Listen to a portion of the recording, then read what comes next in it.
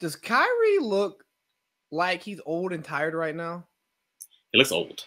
He got them grays coming out. He got like cobwebs up in there. Like he got the grays, and, like his lips a little bit darker, and he has like this little shadowy beard thing on. It's like, is everything okay, Kyrie? You look, you like you look, you look like you're like life's hitting you hard. Yeah, Kyrie's never okay. Yeah, I don't know what's going on with him. So the whole team just looks like sad and down. And I'm like, this is literally what y'all wanted. Like, well, Yeah. everyone, everyone's mad at us. It's like y'all decided to team up. This is what happens when y'all decide to team up like this. And look at how they went about it.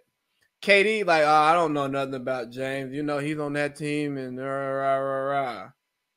And three days later, guess who's showing up to Brooklyn? 10 pounds lighter already. And do you think do you think they can win the championship? I think can. Yeah, Yeah, they can. I don't think they are. Their defense is atrocious. Like I was looking at their, their like last 10 games, and I think uh have you know, they give up routinely like over 120, 130 points every night. And like, yeah, they'll also score 120, 30, but like you can't it's not sustainable. But you see that yeah, but it's they lose to the bad teams. They beat the Bucks. They beat the Clip- like they beat the good teams, and then they don't beat the bad teams. I think in a playoff series, like if they end up going to the Eastern Conference Finals and playing Philly, or they go to the finals and play the Lakers, like I think they can lock in and hopefully D up better. But I think that, I think they can. You know they remind me of though? They remind me of the Clippers of last year, a team that uh, of of some players, great great talent. They aren't as consistent as you like them to be, and the media and a lot of people just think they're they're the prohibitive favorites. It's like, oh yeah, they're going to be in the finals. They're going they're to be right there, and it's like they haven't worked through how they're going to play in the tough games together and they walk around with their chest out like they've done it before. And granted, Katie's done it before, Kyrie's done it before, but they haven't done it before together. And I think that because they take these games off, they, they don't lock in on defense on a regular basis, and they don't know how they're going to act when the tough gets when the uh, going gets tough.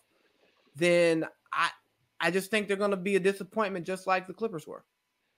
Yeah, that and combined with the fact that you know Steve Nash is a, a first time head coach and, And it shows. yeah in a, a very tricky situation. Uh, I, I don't think that they are going to win this year. Yeah, I wouldn't be surprised if they don't win, but I don't think they're going to be the Clippers. Like the Clippers had a 3 1 lead and then tanked it to Denver in the second round. If the Nets lose in the Eastern Conference Finals to Philly, like that's not a choke job. Y'all lost to a really good team. They get to the finals and lose to the Lakers. That's not a choke. Y'all lost to a really good team. If they pull a choke job and lose to the Pacers in like the second round of the East Eastern playoffs, then like yes. But I think the difference between them and the Clippers, the only player that had done something on the Clippers was Kawhi. PG is great, but like PG hadn't done anything yet. And then they have KD who has done PG viewed himself on the same level viewed as, himself and, and what you have done are not the same thing. So I don't care how he viewed himself. as LeBron and AD. Yeah, I don't care how he viewed himself. The truth of the matter was he disappears in the playoffs, and he did last year. And then KD has done it, and so has Kyrie. James Harden, I think he can disappear in the playoffs at times too. But it's not your best player is proven, and your second best player disappears. It's your best. You have two players who are great options who have been there and know what it takes. So I think I think they'll fare better than the Clippers did. I would be surprised if they if they don't win it all, but I think they'll do better than the Clippers. So we know something's going to change with that roster. There's going to be some buyout guys. Wh- who do you think they need their a potential buyout guy to actually get that roster over the hump? A big like a you know JaVale McGee type, just somebody to you know to bang around with uh, Joel Embiid and AD. and protect the rim. I I just don't understand giving up Jarrett Allen because I feel like they didn't need to give him up to make the whole trade work out. So I think they needed to keep him. Well, I think he's a threat to uh, to, to Andre to uh Andre uh, not uh, DeAndre Jordan. DeAndre Jordan. I was about to say Andre Drummond. DeAndre Jordan ain't been right in years. So Well, you can't play him in the fourth quarter. yeah, he's the four in their big four though. You know, They're before not a James big- Harden got there, They're not Like- a big.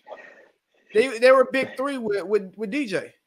They were not a big three. literally because you know Katie and Kyrie wanted him, and like he de- he didn't deserve that four year, forty million dollar contract at all.